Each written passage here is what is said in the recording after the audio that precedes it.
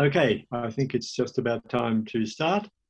It's uh, um, I'm uh, George Willis. I'm the uh, chair of this session, and it's my great pleasure to welcome Alejandra back to Australia, even if only virtually.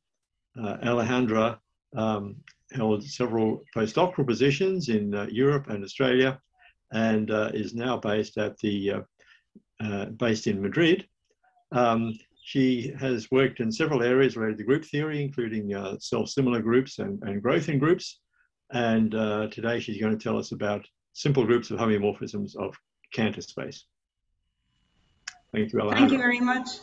Thank you very much, George. Uh, and thank you very much uh, to the organizers at UWA uh, for, for putting all of this together and inviting me to speak.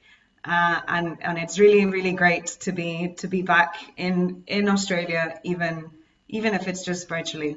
Um, but I mean, I would I would much prefer to be to be there in person. But at least this way, I don't have any jet lag. So you know, silver linings. Okay, so um, I, am going to tell you about an ongoing uh, project that uh, started when I was at the University of Newcastle, and, and it's something that I'm working on with uh, Colin Reid, who's still at Newcastle, and David Robertson, who uh, also moved away. Uh, and it's indeed about um, finding simple groups uh, that act on Cantor space. I'm going to try and keep it uh, accessible, at least at the beginning. at some points, I might get a, a, bit more technical, but there'll be points at which you can um, come back in and I'll tell you when those when those are. All right, so here we go. So um, so I'm a member uh, of the of Zero Dimensional Dot Group, uh, which is a great a great name for a website, and this is the website of the of the Zero Dimensional Symmetry Group uh, at at Newcastle, uh, and there I am. That's that's that's me. Um, and, and, a whole bunch of us at, at Newcastle caring about um, zero dimensional symmetry groups. Uh, and what, what on earth are zero-dimensional symmetry groups? Where they're essentially groups of automorphisms of locally finite graphs. This is essentially what we're going to care about today. So I've drawn uh, here some examples of locally finite graphs, um, and I'm going to talk a little bit about their um, automorphism groups, or at least things that act on them. So for this first example on the left, uh, you can it looks like a K, like a like a complete graph, K4 graph, but I'm actually thinking of it as a as a three a three simplex, three simplex, and its group of automorphisms is is S4 because I can take every vertex to every other vertex, and it doesn't really matter what um, and, and, and all the edges will will follow.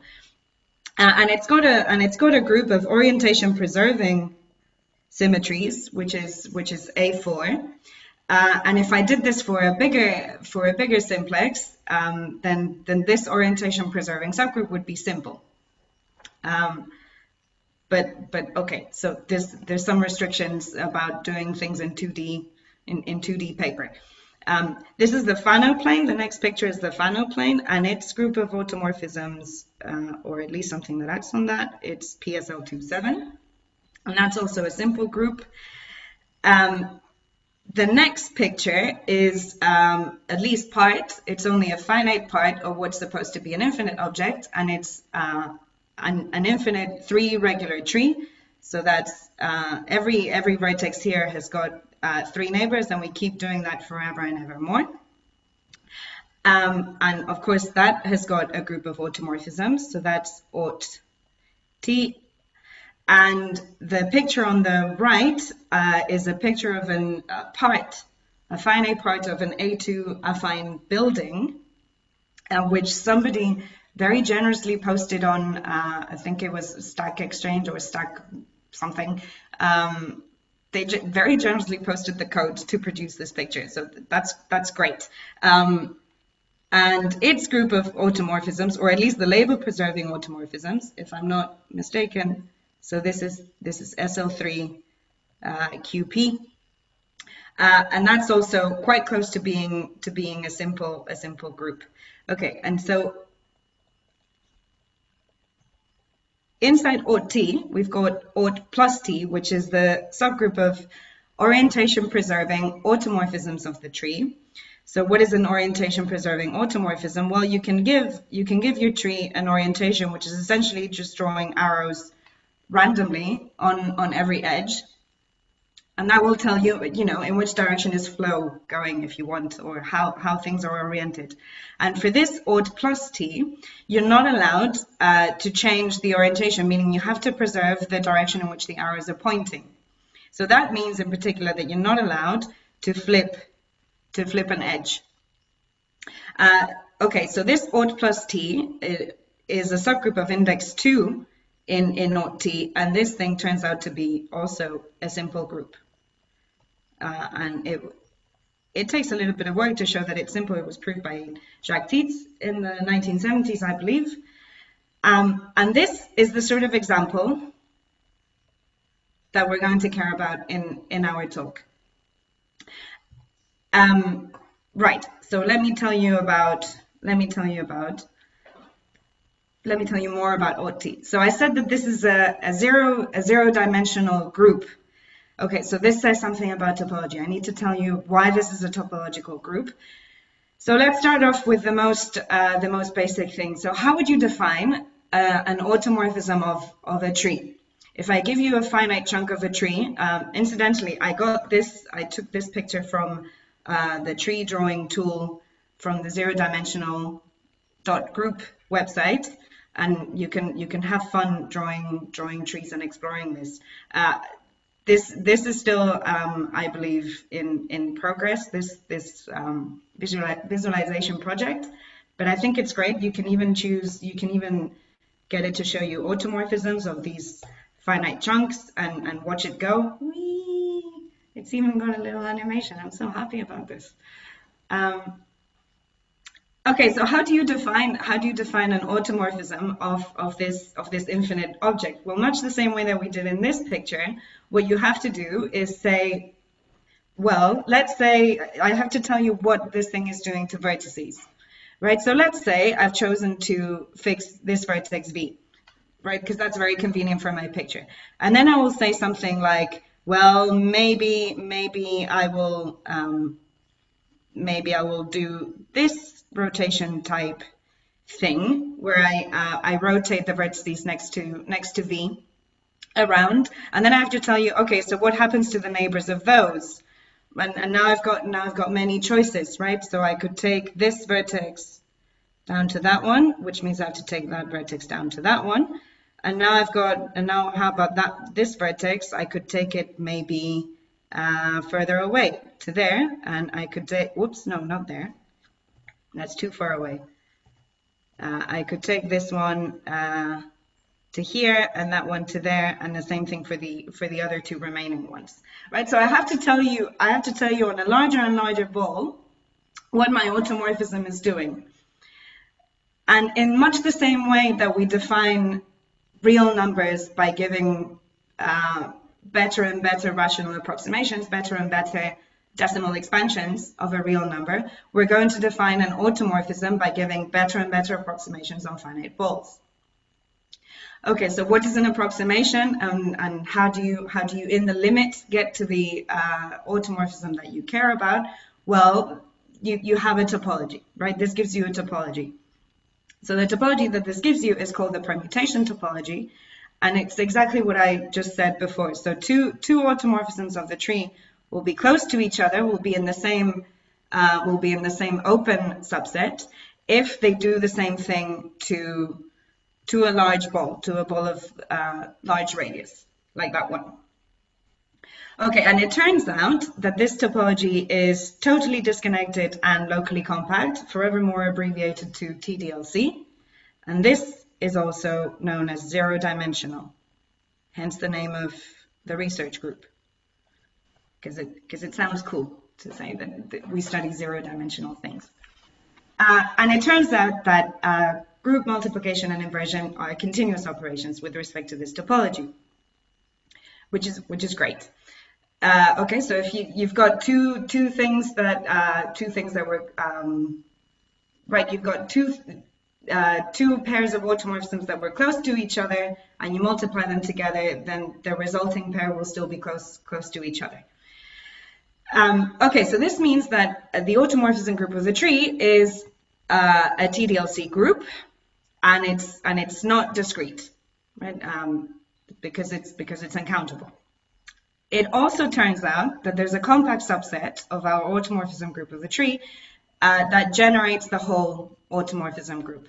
And in this example, we can take the stabilizer, we can take the stabilizer of some vertex V. So this is actually the example I gave of an automorphism is already something that stabilizes V. And it's enough uh, to add some edge inversion, which I've labeled SE for um, S for reflection. In, in, all, in, a lot of books to do with uh, Coxeter groups and things like that, S is used for reflection, and I think it comes from the German uh, Spiegelung. Um, anyway, it turns out that you only need these this this big compact subgroup, the stabilizer of a vertex, and this edge inversion to give you all the automorphisms of the tree. And why is that? Well, because uh, I can conjugate by something in the stabilizer of V to take uh, to take this edge uh, inversion to this other edge inversion, or maybe to this other edge inversion. And once I flip that, once I flip along an edge, then I will have taken V to this new vertex, and I can play the same game, right? I can now rotate around this new vertex and conjugate the edge inversion to the other edges next to V and so on. And, and this way, by multi by conjugating and, and keeping and keeping doing rotations around the new vertices that I arrive at, I will obtain all of the automorphisms of the tree. okay. Um, as I said, Aut plus T is the orientation preserving automorphisms. It's a subgroup of index two, uh, and it's and it's simple. So because Aut plus T is something is, is something of index two in Aut T, then it's a it's a closed subgroup, um, and so it's still a TDLC group, which is not discrete. It is still compactly generated uh, because the same way that a finite index subgroup of a finitely generated group is finitely generated. Uh, and in fact, in here we can take the same, the same, almost the same set, the stabilizer of a vertex, and instead of an edge inversion, we could do uh, a translation along along this edge. Um, and it's uh, topologically simple. In fact, it's even simple on the nose, as I said before. And topologically simple means uh, no, no closed, no closed normal subgroups, except for the unavoidable ones. Okay, so this tells us, this gives us a class S, um, calligraphic S, um, that we're interested in, of simple, simple zero-dimensional groups that are also compactly generated. Okay, and because we're group theorists, we like to we like to classify things. So the question is, can we classify these things?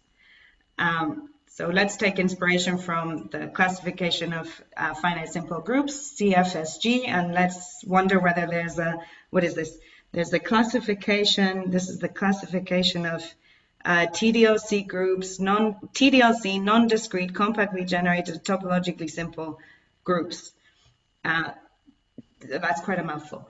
Um, okay, is there such a thing? Well, for the classification of finite simple groups, you can obtain these these beautiful, beautiful things that look like a periodic table um, of finite simple groups, huge success of the 20th century, massive achievement that that there is such a thing as a uh, an analog of a periodic table of finite simple groups. And then when, when I say that I do group theory, I can say to people, oh, these simple groups are like the building blocks, they're like the atoms of, of symmetries. And people might think that I do something to do with chemistry. But it turns out that for the groups in S, uh, we're, we're not really doing chemistry, we're um, or, or physics, we're much more doing biology. Um, and we're not just doing biology, we're doing some, it's like doing biology back in the 19th century, or 18th or 19th century when we didn't know many things. We hadn't discovered, um, we hadn't discovered enough animals or enough plants. Uh, so I, have chosen this picture of a, a monophyletic tree of life from the 19th century to show that this is more or less the stage that we're at. Why do I say that we're doing uh, that we're doing biology rather than chemistry? Because uh, it turns out that we can't classify these groups up to isomorphism uh, because there's a result by Simon Smith that uh, was published in 2017 that says that there are uncountably many uh, groups in S which are pairwise non-isomorphic. So there's no way, no hope that we're going to classify the groups in S up to isomorphism um, like for the finite simple groups. But there's still hope. Uh, so in um, a series of uh, papers, uh, Pierre-Emmanuel Caprace, Colin Reid, and George Willis uh, showed, among many other things, uh, developing a whole load of theory that this class S splits into five types. Okay, so we can at least try to do some uh, some sort of taxonomy or some sort of rough classification like in the like in the tree of life picture. So it's more it's more of a taxonomy what we're aiming for. And so much like um, I guess biologists in the 19th century that went off into the jungle or went on a safari to look for new animals to improve their um, their tree of life, we're going to go on a safari and look for more examples of groups in S to understand this, uh, this taxonomy better. Okay, so let me give you an example of the sort of creature that we're going to find in our expedition. Uh, so once we've understood OT, we're going to do, we're going to modify it a little bit. And here's, and here's how we're going to do it. This is another example of, of a group in S. So it's, it's an uncountable group. It's, it's simple on the nose. Um, and I'm going to tell you later how we give it a topology so that it's uh, TDLC and, and, compactly generated. Um, so this is the, it's, it's AOT, the group of almost automorphisms uh, of the tree. I don't want to think of it in terms of almost automorphisms of the tree. I want to think of it as the piecewise full group of OT. What is the piecewise full group of OT? Well, it's the thing consisting of homeomorphisms of the of the boundary of the tree, which is this uh, right? The boundary of the tree is all the things that go off to infinity here. And, and it's homeomorphic to Cantor space. And so it's the homeomorphisms that you obtain by doing the following. You take a clopen partition of the can of Cantor space, of the boundary of the tree, for instance, you can take uh, the boundary of these subtrees that I've uh, numbered and, and colored. And you take and you take um, the same number of elements of OT, and on each of those, uh, and, and, on each of these clopens, you act by uh, the elements of OT. Uh, so on the green one, will act by some uh, tree automorphism and take it someplace. The same thing with the orange two and the blue three and the brown four. So we restrict we restrict our our automorphisms to these clopens.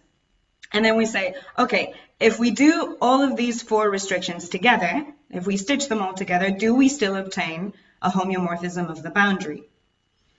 Right? Does it does it all fit in together? Do we do we obtain yes, does it all fit in together? Do we obtain a homeomorphism of the boundary? And if the answer is yes, then we uh, then we put this this stitching together, this this this homeomorphism G, we stick it in the bag of um, the piecewise full group of OT. Okay, let me give you an example. Um, so let's suppose, let's let's say that um, on on one and on three, we might do this uh, a rotation about V. So that means that the green one is taken to this thing uh, two edges away from V, and and there it is. Uh, the blue three goes uh, one to the to the left, and it's still at distance one from V. Um, maybe on four we'll do something else. Maybe on four we'll do a reflection about this, this edge E. So where four was before, it will go to where three used to be. And, and that's there. And maybe let's do, on two, we'll do something else. We'll do a translation along this red ray. So two will go one one edge along this this ray, and, and here it is, one edge further away from, from V. Okay, and it turns out, if you if you think about it carefully, uh, having restricted all, all these all these things, I still I still obtain a homeomorphism of the boundary, right? Because uh, the boundary of one is is here, the boundary the boundary of 2 is, is somewhere there, the boundary of 4 is here, and the boundary of 3 is this whole thing. Um, so I've got, I've recovered the whole boundary, and I'm still doing a homeomorphism because what I did was homeomorphism on the parts. Uh, but it's not, so, so it's an element of my piecewise full group, but it's not an automorphism of the tree. Why not? Well, it doesn't preserve the distance between vertices. For instance, uh, two and three used to be two edges away from each other, and now they've ended up three edges away from each other. So no automorphism of a tree will do that. Okay, more generally, uh, if instead of taking the automorphism group of a tree, uh, we remember that the automorphism group of the tree acts on the boundary of the tree, right? And that's Cantor space, that's the Cantor set. Uh, so instead of OT, we'll take anything that acts on the Cantor set. And this is what I've tried to draw with this dotted circle. Uh, we'll take and, and instead of, okay, and now we do the same procedure. We'll take the piecewise full group of our, of our group G, and this is the same thing. Okay, so we partition our uh, Cantor set into finitely many clopen parts. On each of the parts, uh, we restrict some elements of our group G. And if it so happens that by stitching together all these partial homeomorphisms, we get a homeomorphism of the whole boundary, we'll say, okay, this is an element of our full group. Right, and we'll say that a group is piecewise full, piecewise full, if it's equal to its own full group. Okay, these are the these are the groups that we're going to care about for the rest of the talk. Let me give you, um, let me show you that at least some of you know some examples already of, of full groups. One of them, uh, perhaps the, the well, I don't know what came historically first. I am I'm, I'm not sure who started to think about these groups in from this point of view. But a famous example is the family of Higman-Thompson groups, BDK. So in my in my picture here, uh, D is equal to 3 and K is equal to 4. So I've got four copies of a three regular rooted tree. And how does this work? Well, I choose something of this sort. I choose uh, a finite uh, subtree hanging from the root V, and I'm and I'm choosing it. Um, I'm choosing a complete subtree, meaning that the boundary of the trees hanging hanging below it, the union of all these boundaries is the whole boundary of the tree.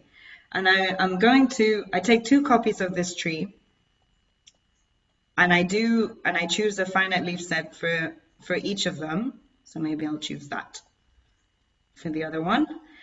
And, and I label the leaves, in this case, one up to six and I'm going to relabel the leaves in the other one. So maybe I'll do one, two, three, four, five, six.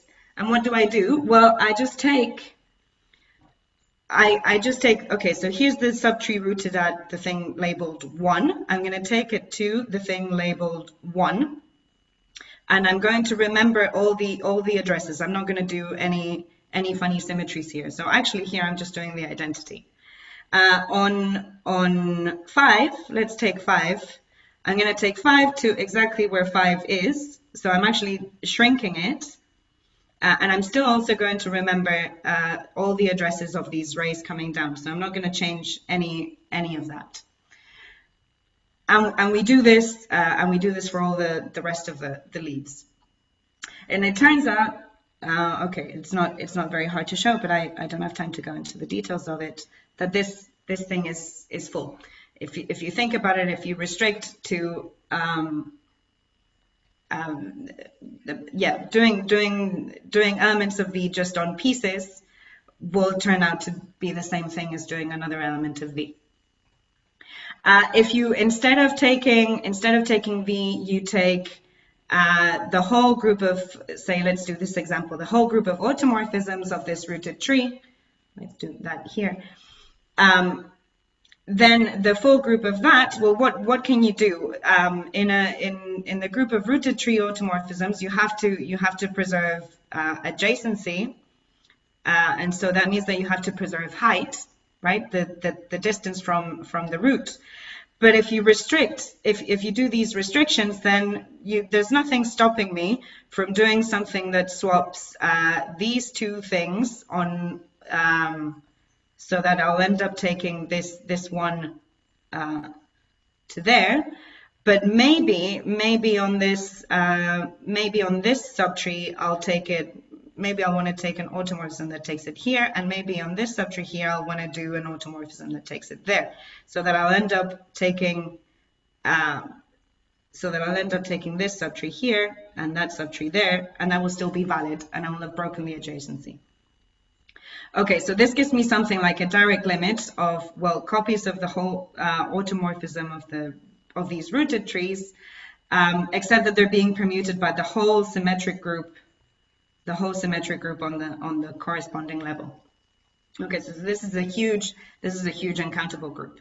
But it turns out that all three all three of these examples, okay, here the the one that I didn't talk about is um, just remembering the the addresses instead of doing a rooted automorphism at each part.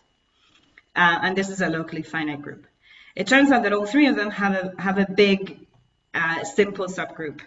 Um, so for, for V, it turns out that it's its derived subgroup. For for this uh, for this locally finite group, instead of taking symmetric groups, you take alternating groups, so you obtain a simple subgroup. And the same thing here, taking alternating group instead of symmetric group. So this is a theorem, this is for a reason, and it's a theorem that I will explain later. Um, and so these these uh, big sub, simple subgroups of full groups have been a source of interesting simple groups in the last few years. And okay, so there are some important papers by people like Juschenko and Monod and by Nekrashevych. So they gave the first examples of finitely generated infinite simple groups with extra properties like being amenable or or having every element of finite order um, and being also of intermediate growth. If you don't know what some of these words mean, then don't worry, it's not essential to the talk.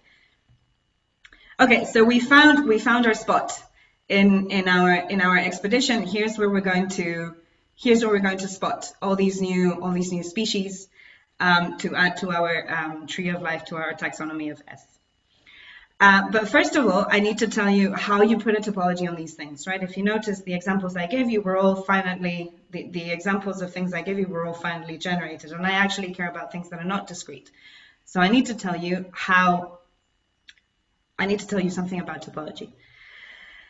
Um, here's a little aside. If you choose the wrong topology, if you choose the most naive topology, so the same, the exact same thing that we did for, for Aut T, which is to say that two, uh, two elements of the piecewise full group are close if they do the same thing on, on a ball of large radius, uh, you're, you're going to get nowhere because if you choose that most naive of topologies, and you assume that the topology is uh, locally compact and that your group is piecewise full, then you will end up obtaining a group that is countable, locally finite, and residually finite. And that's everything, that's the complete opposite of what we want.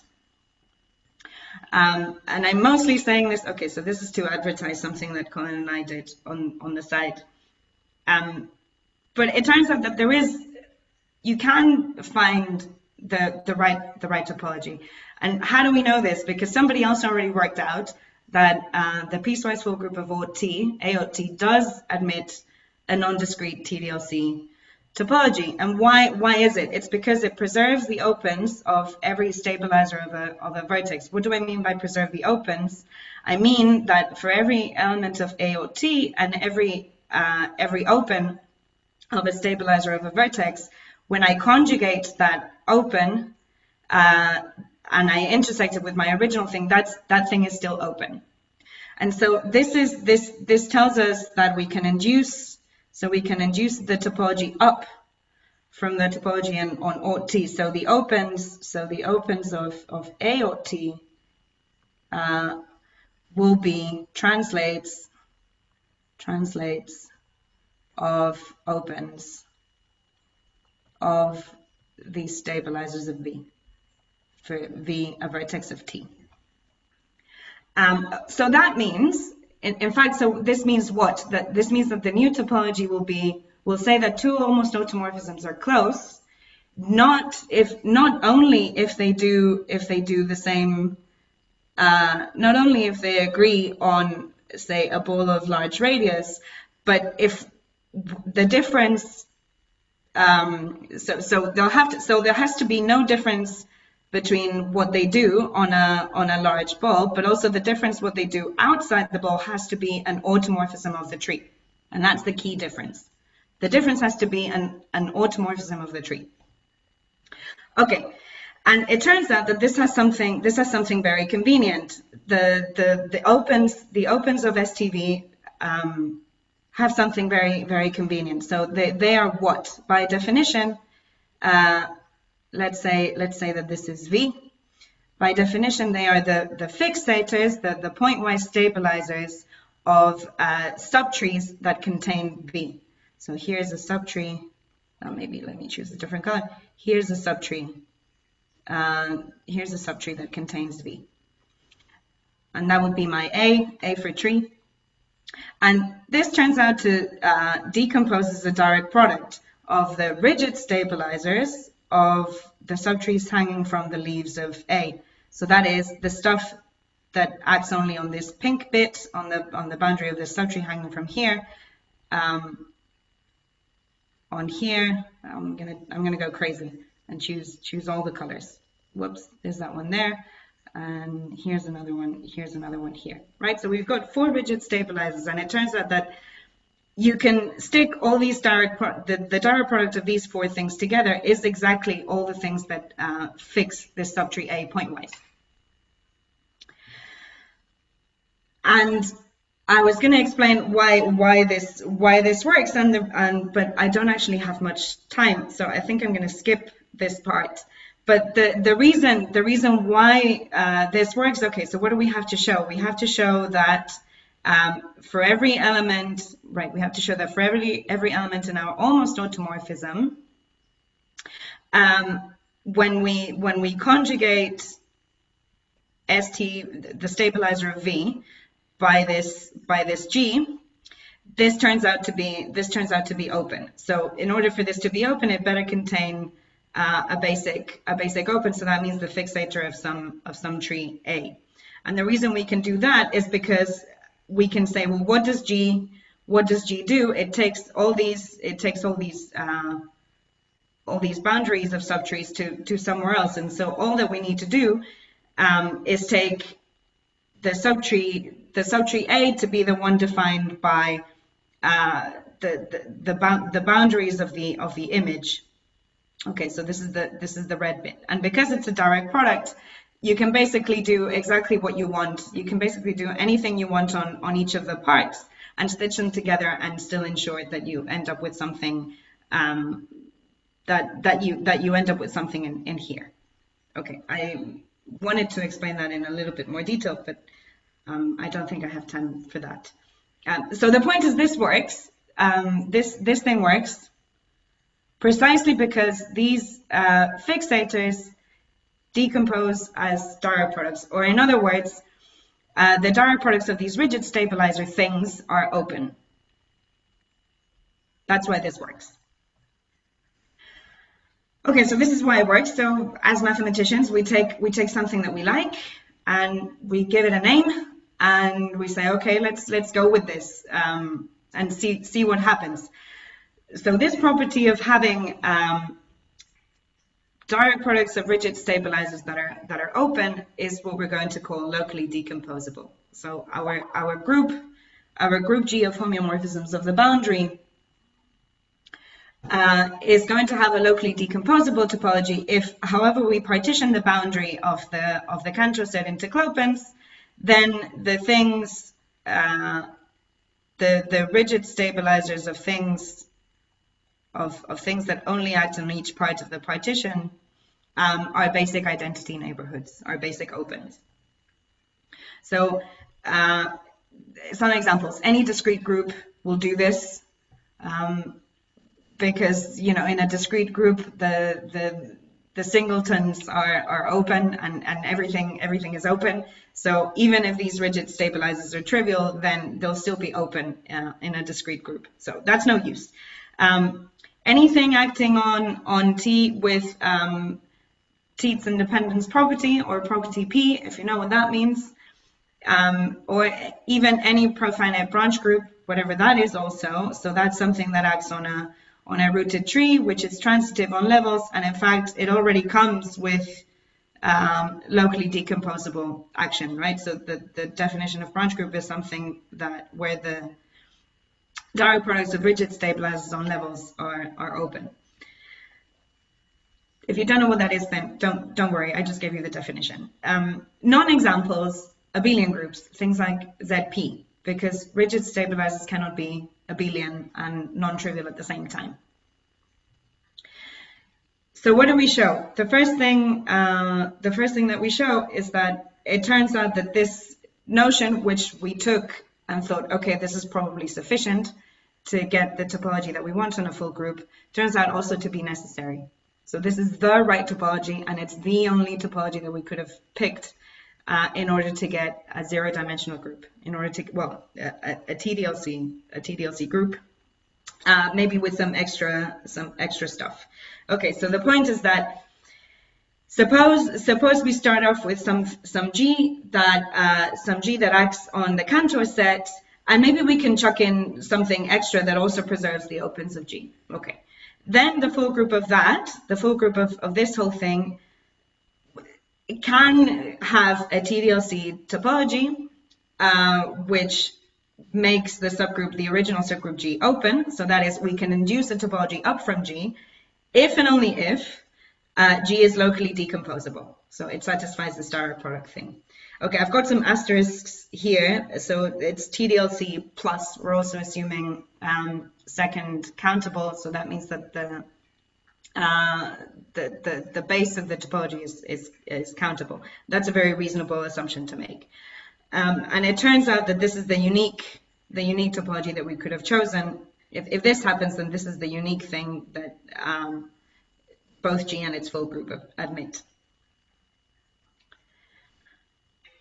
Okay, so topology is sorted, and it turns out that we need to restrict, if we want something, a full group that has a chance of being an S, then we need to choose things that act independently on, on parts, on, on, every, on every part of any clopen partition of the Cantor set. Okay, if you got lost in all the topology, this is the time to come back. I'm going to talk about um, simplicity and why these things are compactly generated. Or if you want to, if you if you still don't like topology, think of the analog of finitely generated. Let me start with the examples I gave at the beginning. Let's think about alternating groups. So both uh, the Higman-Thompson groups V, the family of V's, and this big direct limit of uh, symmetric groups are both in some sense limits of symmetric groups. So for the second one, this is this is clear. Uh, for the first one, I, am not quite sure what the right notion of limit should be, but okay, you can think of it. It's a, it's a big, it's a big um, uh, putting together of symmetric groups. And they both have in common the fact that their derived subgroup is simple and it's formed of alternating groups. Um, Okay, so let's, here's the definition. We're going to do the exact same thing. Um, let's take something that acts on the Cantor set. And instead of thinking of the full group, we're going to define the alternating full group. What is this? This is the thing generated. Uh, this is the thing generated by the following stuff. So they're the things, uh, they're the things in the full group such that when you do your when you do your partition, uh, let's say like that, uh, the parts both at the beginning and at the end um, are the same. So you do the same, you act on the same partition, you preserve the partition, and all that you do is permute the parts around. Uh, so actually, I don't want that. Is permute the parts around, and and the permutation that you do um, the permutation that you do is even. Um, yeah, so that's it. I don't need to draw any more arrows. Okay, so and it's the thing generated by those elements of the of the full group. So they preserve they preserve partitions, and what and the permutation that they induce on the parts uh, is is an even permutation. And you take all the elements of a full group of that sort and see what they generate, and this is the alternating full group. Think of it as you know, if you think of the infinite alternating group, this is the thing generated by all the alternating groups on finitely many uh, subset on, on finite subsets. Okay, it turns out that if the action of the group that you start with is sufficiently nice, the action is minimal, so that that's that's essentially topologically transitive. So there's a transitivity condition. Uh, then this uh, alternating group is simple, on the nose simple. Um, okay, so if you start, so this minimality thing is equivalent to uh, acting transitively on levels of a rooted tree. So if, if, say you started off with a profinite branch group, if you know what that is, then this theorem tells you that this alternating group is simple and therefore its its closure once we once we use the topology that I talked about before, it will be a topologically simple group. Okay, so this is how you obtain things that are simple. How about um, this? Um, oh, okay. So, th so there's a key idea for both of the things, both uh, simplicity and topological and, and compact generation or finite generation. And the key idea is the following the full group is is what is the group of invertible elements of some bigger inverse monoid, which I'm I'm going to call Big. It's Boolean inverse monoid, um, and it's a, an, an inverse monoid of partial homeomorphisms of of the Cantor space. Uh, and what is it? So you take all the restrictions of G to clopens of the Cantor space, and this is the picture that we had before. Okay, so I've taken I've taken four restrictions um, to four clopens. Uh, so let's say I look at the I look at the green restriction that takes this green U1 to this green G1 of U1. Um, so that's an element of my of, of BIG. How is it a monoid? Well, I compose I, I can compose partial homeomorphisms if you know uh, the the the range of the first one that I do agrees with the domain of, of the of the second one that I want to do, and maybe I have to restrict uh, to to what they have in common. Okay, and then that means that I will have to restrict the the pre-image of the of the first one. I will have to restrict the domain of the first one to agree with the pre-image of of the thing that I'm restricting to. Okay, inversion is easy because it's a partial homeomorphism, so it's a it's a homeomorphism between two two clopens, and being a homeomorphism, of course, it has an inverse. And there's an extra. Uh, oh, that's the wrong. That's the wrong symbol. That should be. That should be this. There's an extra join operation, and that's stitching together two partial homeomorphisms. So I, I've in the picture I could have stitched together. I have in fact. I'm I can stitch together what uh, G1 and G2 do together to the green and the orange. And, and that will still give me a partial homeomorphism. And so this f of g is exactly the, the group of fully invertible elements, meaning the things that are uh, complete, that are defined everywhere. They give a homeomorphism that is defined everywhere on the Cantor set. Okay, so we work with this bigger inverse monoid. Um, and it turns out that um, Yes. And it turns out that this um, alternating full group is finitely generated if and only if this Boolean inverse monoid, this bigger monoid, is finitely generated. And by finitely generated, I mean, okay, so we're allowing these extra operations now of, uh, and that's also wrong, of stitching together of things. So Nekrashevych showed that if you've got uh, a group acting on the on on the Cantor space by homeomorphisms, and you start off, and, and, the group that you care about is finitely generated, and the action is expansive, whatever that means. So that means that um, that two that two elements that are that are different will end up being will end up being taken far apart. Um, if that happens, then the alternating uh, group of G is the alternating full group of G is finitely generated. And so the idea is exactly what I said before. It turns out this is the this is the germ of the idea. Um, if your group G is finitely generated and the action is expansive, this is the same thing as the Boolean inverse monoid, this thing of restricting um, G to, to parts and maybe stitching together um, some of the partial homeomorphisms. If this thing is finitely generated, with respect to these um, two operations.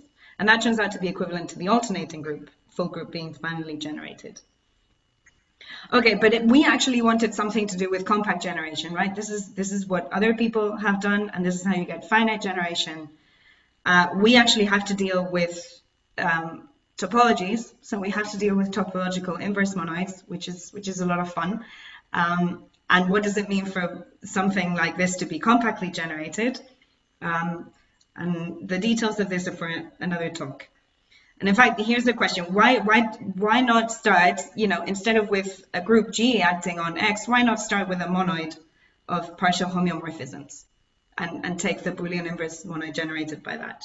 Um, so you have something way more general. Okay, so here's the other theorem that we obtain. Um, okay, so here's how, how, how we obtain groups in um, S. We'll take some group G, which acts on, which acts on Cantor space, and the group G is, top, is, is a TDLC group, and with respect to that topology, it's compactly generated. There's a compact sub subset that generates everything.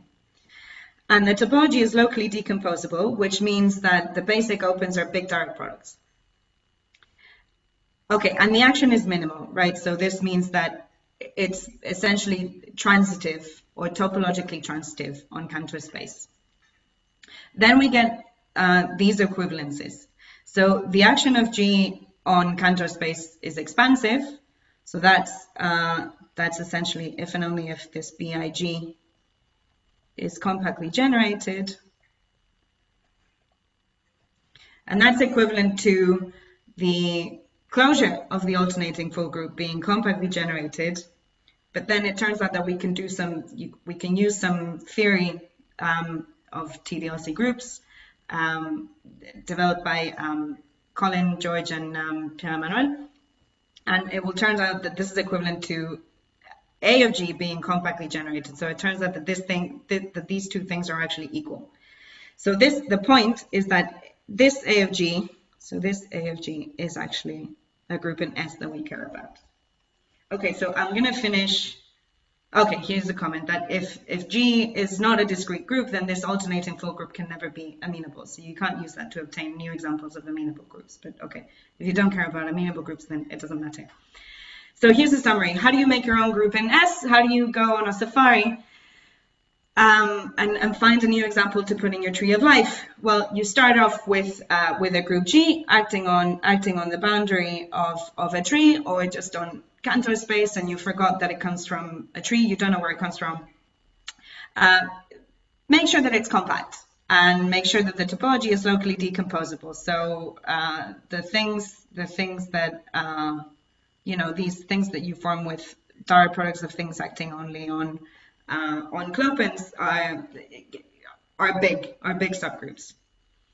Uh, make sure that you have chuck in something chuck in some C that preserves the opens of, of G.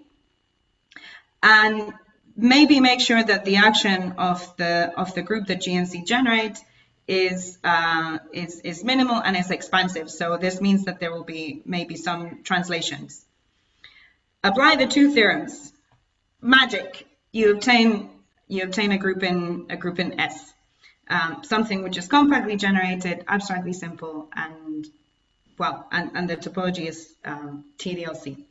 And the group that you will obtain is non-discrete if and only if what you put in is not discrete. I'm, I've gone over time and I apologize. So I don't have time to tell you in detail about examples. I'm just going to tell you something that we are thinking of. So these two slides are to show that, okay, we recover examples uh, that or have already appeared in the literature, even if they haven't appeared explicitly as piecewise full groups or parts of this construction. Um, so we're fitting things into our bigger framework. Uh, but here's something that is still in progress, and this is a lot more fun. Things that act on capillary sets. What is a capillary set? So here's a picture of an actual capillary. Uh, it's the stuff between arteries and, and veins, and, and and look at all the look at all this this stuff, all of this branching out, but not quite branching out like a like a tree. So you've got lots of scope for things acting independently on all these little uh, sub arteries, but maybe they join together sometimes, a little bit, but just enough to ensure that we have this independence that we were talking about. Um, okay, we don't actually want this this part. We don't actually want things to join up at the at the vein in the end. But okay, so we're looking at things almost automorphisms or full groups of things that act on on this sort of structure. Um, and and it looks like we can obtain a lot of examples from things that I've done on these sets. So um, I think I've said enough and I'll thank you for your attention.